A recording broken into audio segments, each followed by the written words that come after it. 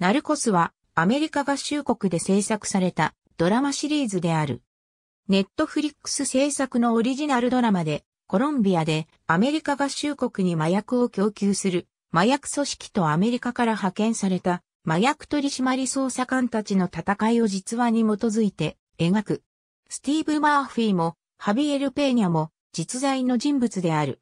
本国では2015年8月28日より配信が開始され、日本では2015年9月1日から配信が開始された。シーズン2は2016年9月2日に配信された。2016年9月6日、シーズン3及び4の制作が発表された。シーズン3は2017年9月1日に配信された。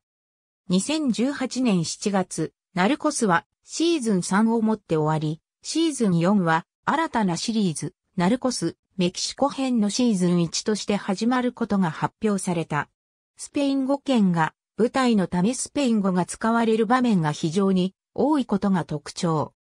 1980年代以降、アメリカは麻薬問題に悩まされ、麻薬取締局は要員を南米の生産国に送り込み、現地の当局と協力して解決を試みる。だが、現地の政府、軍、警察は麻薬組織と結びついていることが多く、取り締まりは困難を極める。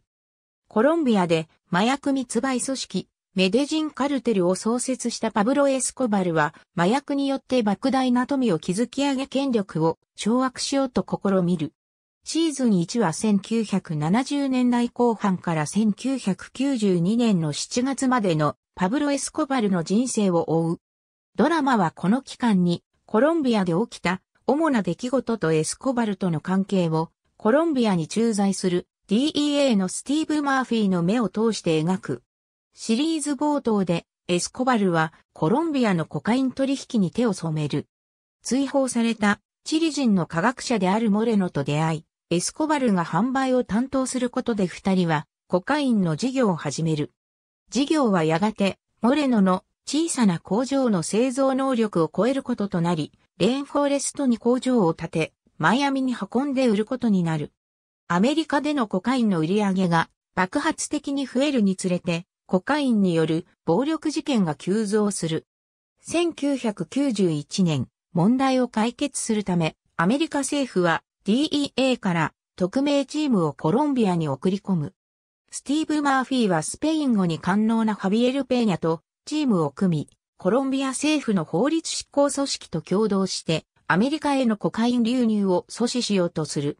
シリーズ最後、パブロは、自らのために作った刑務所、ラ・カテドラールから別の刑務所へと移送される際に逃げ出す。シーズン2はシーズン1の直後から始まり、コロンビアを舞台とし、引き続き、マーフィーとペーニャを中心としたアメリカ人とコロンビア人からなる麻薬取締チームとエスコバルの戦いを描く。刑務所を脱走したエスコバルは特捜隊から逃れて隠れ進む。一方アメリカ政府は打倒エスコバルを目的として新しい大使をコロンビアに送り、さらに CIA が作戦に参加する。一方ペーニャは密かにエスコバルの組織メテジンカルテルと競合する麻薬組織カリカルテルと協力する。その後、カリカルテルをはじめとしたパブロへの復讐を目的とした人物たちは、ハンエスコバルを掲げた組織、ロスペペスを作り、エスコバルは部下や友人たちを次々と殺されることとなる。エスコバルはロスペペスらから家族を国外に逃がすことに失敗し、爆破テロを起こして国民の怒りを買う。誰からも擁護されなくなり、今まで共に戦ってきた部下たちもすべて失い、追い詰められたエスコバルは、愛する家族と無線で通話をするが、マーフィーラに傍受され、隠れ家が突き止められて、特捜隊に包囲され、逃亡を図って射殺される。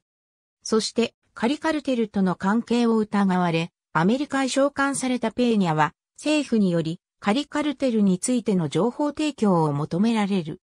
コロンビアでのメデジンカルテルの崩壊により、ヒルベルトとミゲルのロドリゲス兄弟が率いるカリカルテルがアメリカで急速に勢力を伸ばす。ペーニャは DEA のチームを率いてカリカルテルを次の標的とする。標的となったことを知ったヒルベルトは幹部を集め、半年後に麻薬から手を引くと発表する。癒着した政府と交渉し、最小限の処罰と引き換えに膨大な財産は保持しようとする。だがヒルベルトが逮捕されると、弟のミゲルは、警備責任者コルドバとその妻ソフィア及び賄賂で買収していた警察のカルデロン隊員の粛清をした。後に、公のサルッサパーティで、ライバル組織であるバジェ北部に、ミゲルが殺されそうになった。